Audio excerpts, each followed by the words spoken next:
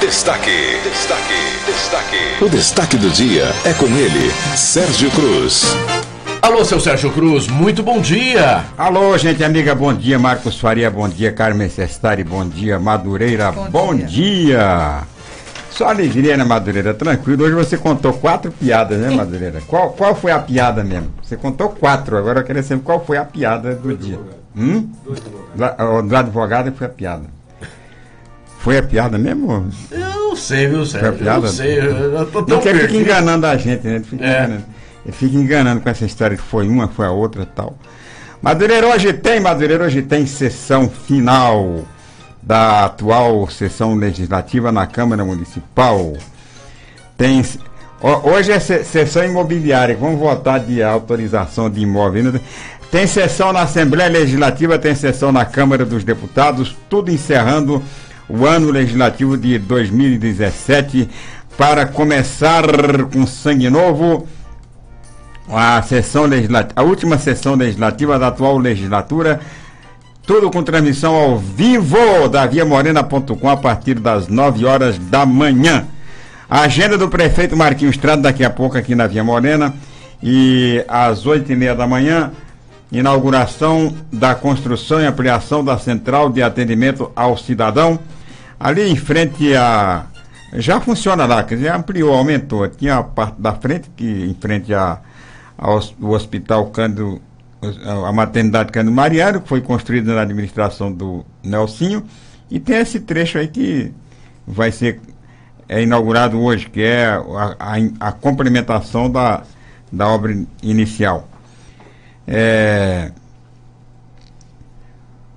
Começa hoje, o prefeito vai falar sobre esse assunto daqui a pouquinho no programa.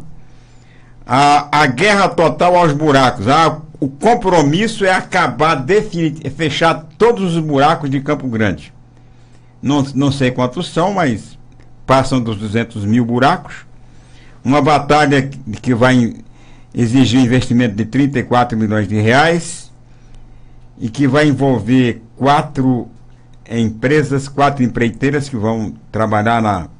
Agora, tem que tapar, tapar os buracos e continuar a manutenção, porque se tapa o buraco e não, e não mantém, aí os buracos terminam voltando, porque os buracos são insistentes.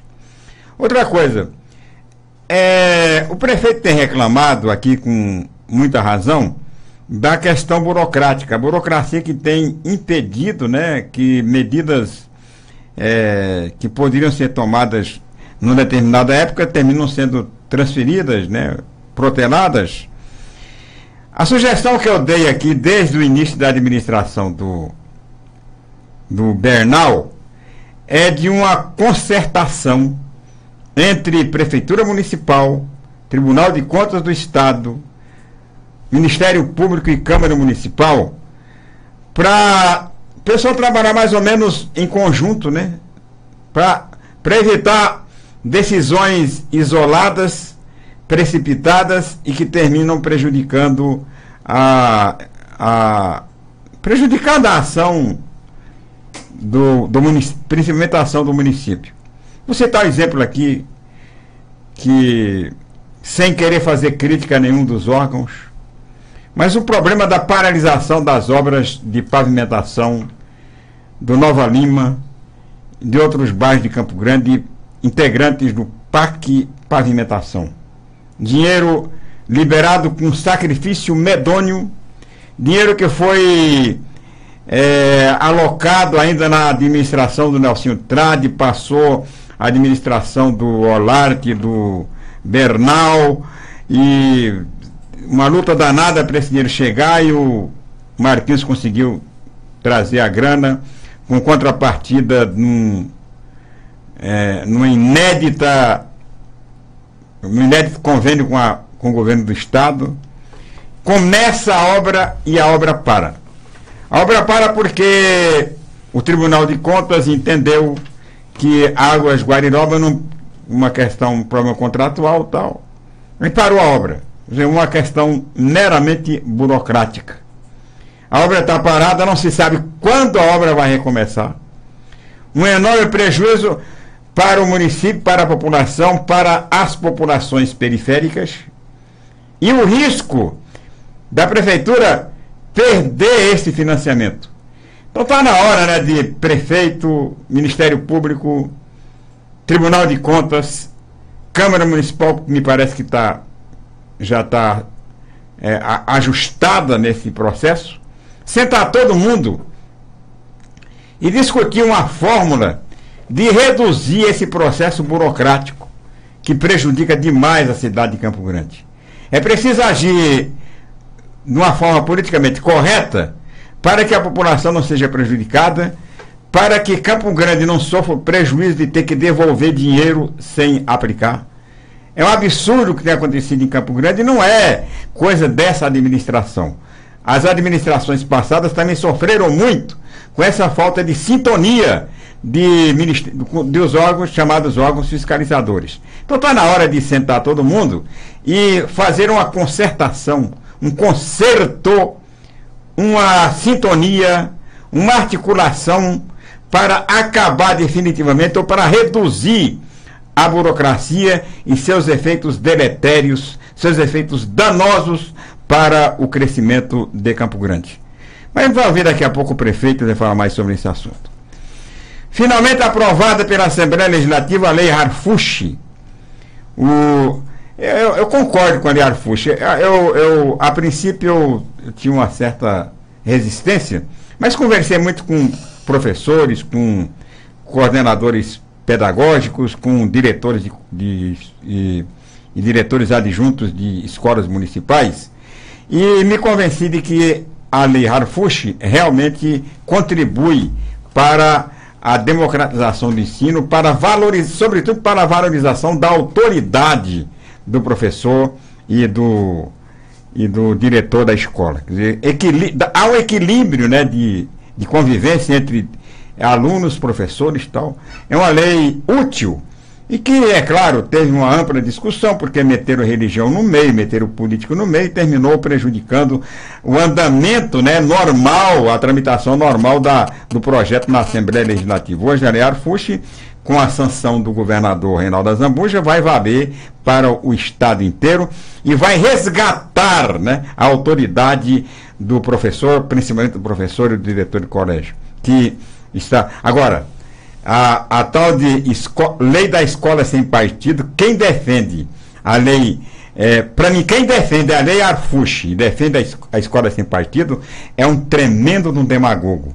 Porque essa lei da escola sem partido não tem nada a ver com essa lei Arfushi. Ela é o inverso da lei Arfushi. Porque a lei Arfushi dá com a mão direita e a lei de escola sem partido tira com a mão esquerda. Quer dizer, a, a lei Arfuxa dá resgata a autoridade do professor e a lei da escola sem partido retira a autoridade do, professor, do aluno, aliás, do professor, do diretor e principalmente do, do professor. À medida que impõe tabuletas, né, que impõe é, medir que o professor tem que fazer. É, agora mesmo, o ridículo dessa, dessa ação do, do vereador aí que fez uma sessão na Câmara Municipal para ler livro, ver se tinha é, mulher pelada no livro, né? Ver se tinha é, foi-se martelo no livro para poder recomendar a prefeitura. Não encontrou nada, que é um absurdo, que perder tempo.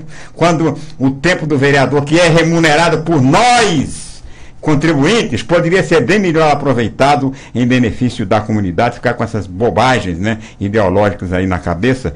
E agora, para mim, o, quem é a favor da Lei Arfushi não pode ser a favor da escola sem partido. Tem nada a ver. Para mim, é pura demagogia ideológica essa história de ser a favor de um e, e, a favor da outra. Quem é a favor de um tem que ser contra a outra. Não tem como. Até porque essa escola sem partido tira a autoridade que a Lei Arfushi dá aos professores.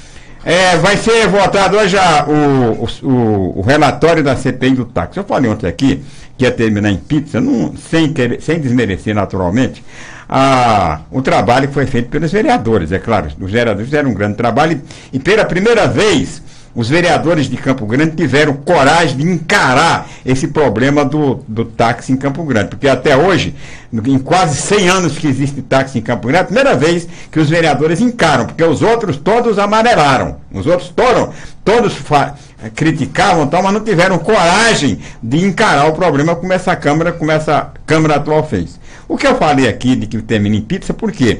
tudo que foi feito até agora com os táxis em Campo Grande foi feito porque não tem uma lei.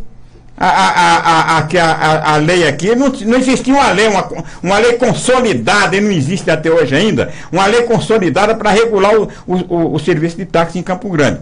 É uma lei, aí vem outra lei, revoga aquela. O prefeito Lúcio Coelho fez um decreto regulamentando o táxi em Campo Grande baseado em lei nenhuma. Coisa que você não pode fazer, decreto tem que ser para regulamentar uma lei. Foi feito tudo isso, quer dizer, então a coisa feita a, reboque, né? É, teve tempo aqui em Campo Grande que o, os alvarás de táxi eram fornecidos pelo sindicato dos taxistas, coisa, outro absurdo. De todos esses absurdos que, foram, que, que tem, que foram é, descobertos agora na CPI, todos eles foram feitos de acordo com a lei, uma lei que não existia. Quer dizer, foi, é, esse coisa de táxi em Campo Grande foi um, um, um território sem lei foram uns privilégios que foram criados e que é, a empresa de táxi, né, coisa que só existe aqui em Campo Grande, é, que o táxi é um serviço até social, mas foi criado baseado por então a minha a base que eu tive para para concluir que vai terminar em pizza exatamente porque ninguém vai ser punido. O que tem que ser feito agora e que é, esta CPI deve indicar o caminho é se criar uma regulamentação definitiva para o sistema de táxi em Campo Grande. Falei e tá falado!